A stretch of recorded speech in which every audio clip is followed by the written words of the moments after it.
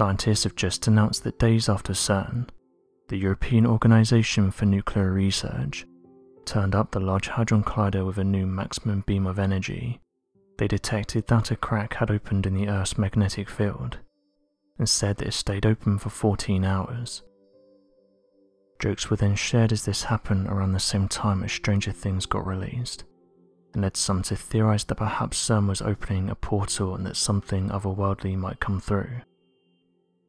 Although a hole did open in Earth's magnetic field, scientists have said that no interdimensional beings have come through yet. The researchers did say though that while the hole was open it did allow some powerful solar winds to come through. For those unaware, the Earth's magnetic field is an incredibly important aspect to our planet that we do not often talk about, not outside of science lessons at least. The magnetic field can help keep us on track, keeping our compass needles pointing north, but it also keeps our planet habitable by deflecting solar winds that otherwise would threaten to strip away the ozone layer. We may not discuss the magnetic field on a regular basis, but it's truly important in maintaining life as we know it. Those working at NASA have said it's important to conduct further research on solar winds, saying that forceful solar mass ejections can damage or destroy Earth orbiting satellites and create power surges that can black out entire cities. This recent hole that was opened up turned out to be a rare phenomenon that goes by the name of co-rotating interaction region. This region has been described as having long-lasting plasma structures that are generated in low and middle latitude regions of the Sun. The National Oceanic and Atmospheric Administration revealed that the solar storm caused a G1 class geomagnetic storm. Lately, however, something strange has been happening to that valued player, with NASA feeling the need to actively monitor and track an anomaly found in the magnetic field where the magnetic intensity seems to have dropped. There seems to be a huge area in the magnetic field which is notably less magnetic than it should be. An area spanning over South America and Southwest Africa has been impacted thus far. This unusual occurrence known as the South Atlantic Anomaly has been toying with the minds of scientists for years now. One group particularly concerned about the strange happenings are the NASA researchers, the American Space Agency has a number of satellites and spacecrafts orbiting in space, many of which orbit Earth. The concern here is that with the magnetic field being weakened, there is a greater exposure to charged particles heading our way from the Sun. The South Atlantic anomaly does not impact life on Earth, but it will have a significant impact on the spacecrafts in orbit of Earth as they circle our planet at their low orbit altitudes.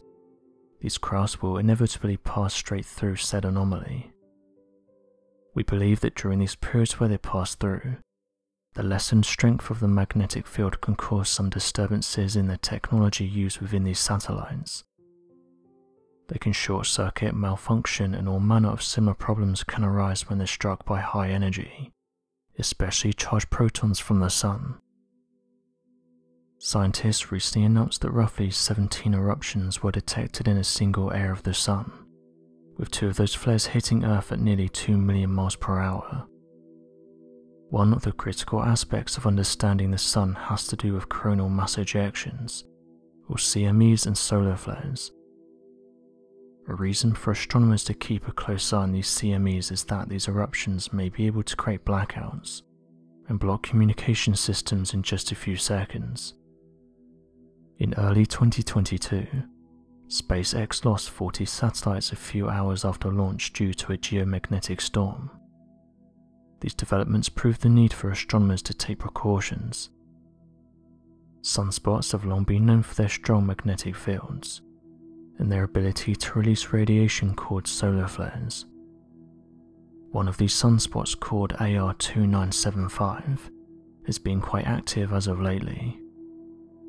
Solar flares typically need around 15 to 18 hours to arrive on Earth. However, this time around, a powerful solar storm was created by a strong wave produced by a fast moving flare, and that overtook a slower flare. The magnetic storm that resulted from this event produced a beautiful natural show of lights that are usually referred to as the northern lights. These lights were formed when the magnetic storm hit the upper layers of the Earth's atmosphere. This light show was visible all across the United States, from the northern states to Iowa and Oregon. This solar storm resulted in beautiful views, but larger solar storms can cause tremendous damage. According to SWPC, G3 storms can cause radio navigation problems at low frequency and intermittent satellite navigation problems. Scientists have even predicted that a massive G3 storm may be able to disable the internet use across the world. Those types of storms can cause trillions of dollars in damage, like the solar storm of 1989 in Quebec.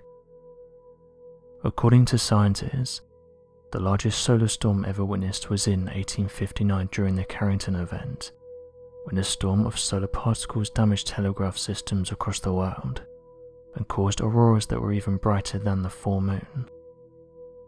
As these events result in genuinely beautiful views, it's not worth the destruction, and scientists still have a long way to go in regards to investigating these events. So, what do you make of these recent announcements? Be sure to leave your questions and answers in the comments section below and help us to grow this community while working to solve these unexplained mysteries. Thank you for watching and don't forget to subscribe for more videos.